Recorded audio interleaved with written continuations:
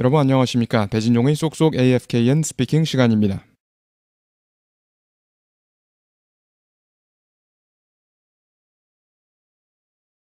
주의사당에서 대법원 판사 자택에 이르기까지 주의사당들 state capitals 대법원 Supreme Court 하시겠습니다.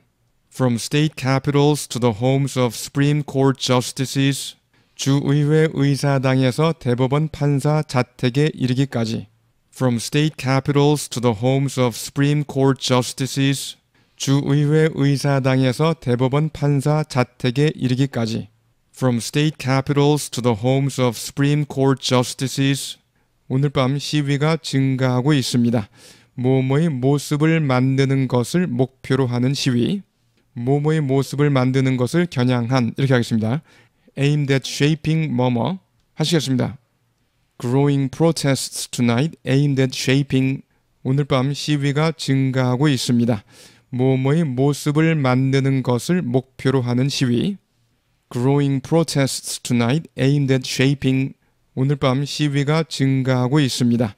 모모의 모습을 만드는 것을 목표로 하는 시위 Growing protests tonight aimed at shaping 낙태권 미래의 모습을 만드는 미국에서의 The future of abortion rights in America 낙태권 미래의 모습을 만드는 미국에서의 The future of abortion rights in America 낙태권 미래의 모습을 만드는 미국에서의 The future of abortion rights in America 대법원의 결정문 초안이 유출된 후 발생한 것입니다.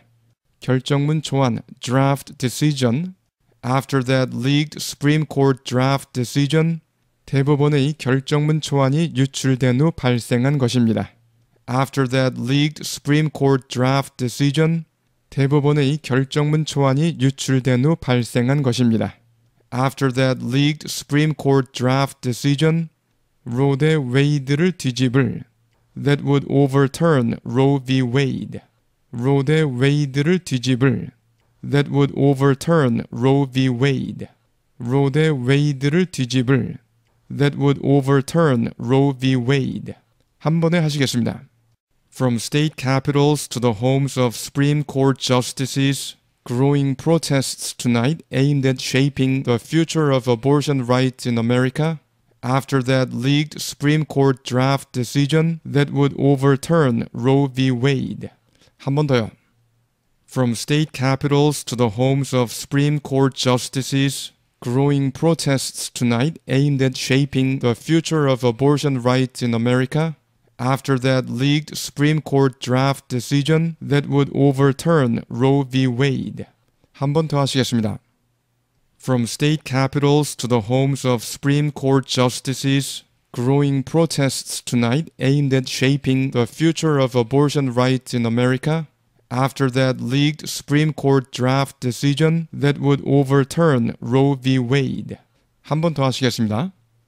From state capitals to the homes of Supreme Court justices, growing protests tonight aimed at shaping the future of abortion rights in America after that leaked Supreme Court draft decision that would overturn Roe v. Wade.